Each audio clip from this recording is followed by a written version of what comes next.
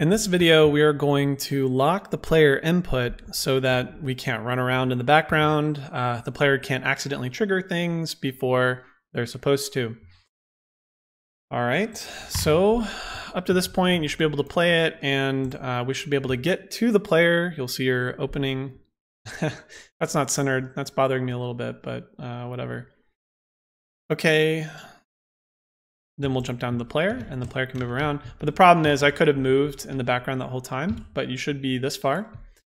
Now, inside of your blueprints, the way to set this up is honestly just going to require a lot of blueprint nodes. That's the nature of blueprints. um, and I'll also mention that there's probably a few either better or more optimized ways to do this but I don't want to confuse the example with, you know, pulling lots of variables and you're not sure where things are. Like I'd rather make this as straightforward as possible. So when we play our cutscene, think about what we want to do. We want to start playing the cutscene.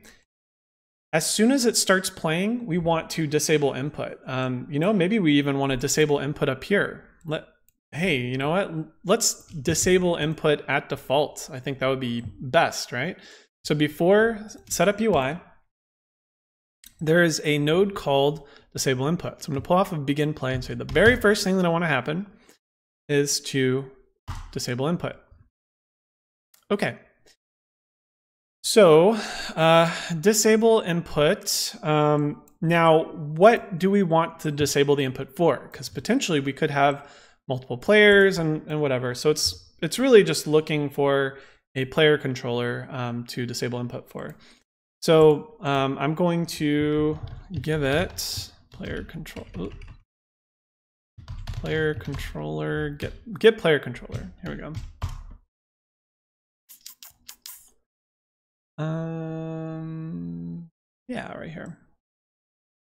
I, I'm always used to just dragging in both of these. I'm not entirely sure if both are necessary, but I'm just going to pull it in there anyways, just because I'd prefer to give it everything it needs. Uh, I'm also going to give it the player character. So get player character. And make sure both are locked. Okay. Uh, yeah, that should be good. Now the problem now is if, if we play it, we're disabling our input, um, but we're never enabling it. So I shouldn't be able to move. If you try clicking around your keyboard, so that's good. Problem is, whenever the cutscene ends, I can still no longer move. So what we want to do is you want to re-enable the input as soon as the cutscene is done. Now it's it's not quite that tricky, like or not quite that easy. I don't want to necessarily keyframe or animate the input coming back in. I want a way to say when inside of blueprints, when the when the animation is done, re-enable um, input. Now I could do the same thing I did, did right here, right? Like I could say delay, then put in the length of the animation, and then say re-enable input. But, that, like I said earlier, that is kind of a hacky way to do it. And um, you know, sometimes it's fine, and I, I do want to show you both methods. But sometimes I would just say, hey, just however long the animation is, then um, that once it's done, just re-enable the input. So to do that, we're gonna come down here. This is where we start playing our cutscene. We're already locked in our input. And what I want to do is I'm gonna do something called set timer by event. Set timer by event. And what this is doing, this is going to allow us to put in a, um, declare an amount of time to wait and then call an event once it's done. So an event is kind of weird, um, but you'll see this little red node right here, um, a function, so a function or a custom event or whatever you want to call it, we can call something like this from this pull off node. And what this is saying is after this amount of time, so if we put in 10 seconds, it will call this event. Now that's pretty cool. So I'm going to create a new custom event, add custom event. I'm just going to call this one um, intro end. Uh, actually, let's call this intro cutscene. End. Just to be really clear. And what I can do now is if I drag this right here, this event, you'll see it'll connect. This will run whenever this timer is over with. So, you know, we could just say uh, after, what is it, three seconds after the cutscene starts, we could say after three seconds, um, pull off of here and say enable input. Then we could uh, drag in, you know, I'm just going to copy paste these from up here. Give it, just like before, character and our controller. And if we, you know, if we guess right here, then this would be the hacky way to do it. We could, um, we could just play that. I mean, the hackier way to do it would just be to connect off there. But maybe we want other stuff. Um, you know, you you could delay or whatever you want to do. But I think this is another way that I want to show you how to do this. So if I were to come back here, it should wait for three seconds after this cutscene starts and then re-enable input. So technically this will work. Right, I can't move. So technically this will work and you know if that's all you care about, then you'll be fine. But in my case, I don't want to manually set this amount right here. I want this to be driven by the length of the animation. Um, now, the only trick here is to make sure that if your animation length is really long inside of your actual animation, it's just going to wait until this whole thing is done. So if you have a lot of dead space at the end of this, it's just going to keep playing and you're never going to get your input back. So make sure that your animation length is trimmed properly, um, just like we did before. and um, so we want we want to dynamically grab this. Now, one way we can do it is we can say get the sequence player. We can pull off of that. And we can say something called get duration. Um, I'm not sure which one we need. I think we can just do that. Get duration because we're already uh, pulling from the sequence player. So as long as you pull off that node, you should be able to type it in. Sometimes if you don't see a particular function, uh, you may need to pull off of a particular thing that has access to it, and then you will be able to see it.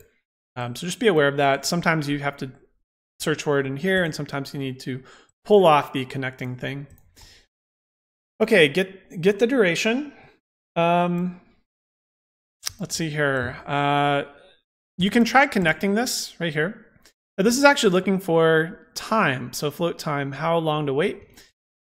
You could just try to connect this directly and I believe it will probably convert it. Yeah, converted to qualified frame time structure. So this is, I believe, in case we pause it or something, um, it needs to convert it. It needs a certain type of um, input. So we'll just let it convert and that'll be fine. So we're getting the duration. We're converting it to whatever it needs. So now as soon as we play, we are um, setting the timer by event and saying when this is done, meaning whatever the duration is, when this is done, call intro cutscene end. And actually, I believe I believe that's it. I believe this will do it for us. So uh, we are just dynamically getting in the time rather than setting it into this field right here. So as long as our animation clip, the as long as the end time, right, like this red bar here, as long as this is not pulled off into infinity and this is properly clipped, whenever this marker hits that red bar, it's going to move on. Um, so let's actually test this out. Let this go. Try to move around, try to test my input. Nope, nope, nope. All right. Um, so you see another thing that happened right there. Uh, let's actually go in here. If you want to test and see what happens, you can actually come up here in your blueprints. Uh, and if you hit play, can follow the can follow the flow.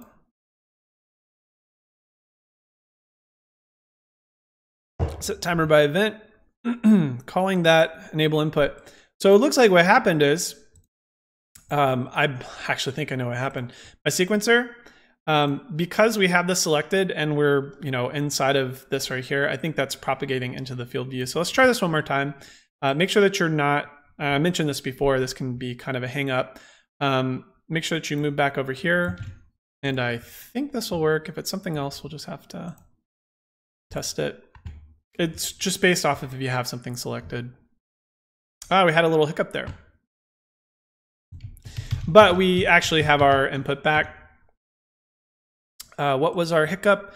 Um, maybe we're jumping to this a little too early. So um, maybe this is where our little blueprints, blueprints class, oh, sorry, um, level blueprint, that's what I'm looking for.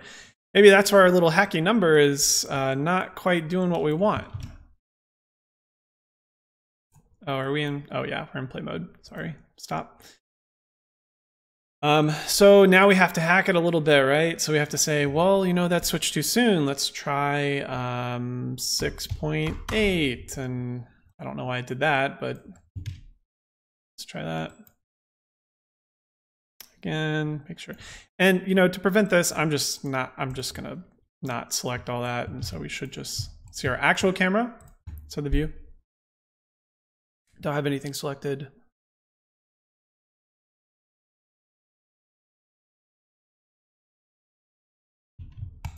All right, so I think that's working pretty well for us.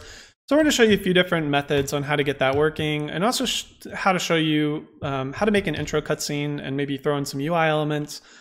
I was looking to do something very specific, but you could definitely expand this into other things. Like if you wanted a cutscene for when you enter this trigger volume and you want to hop to a different camera, um, you know, play a door opening, have a monster jump out or something, you could definitely expand the level sequence and animate other things and then make sure you return it to the camera. You can do more fade tracks uh, if you want. So I hope this is a good starting point for understanding how to trigger animated sequences inside of Unreal.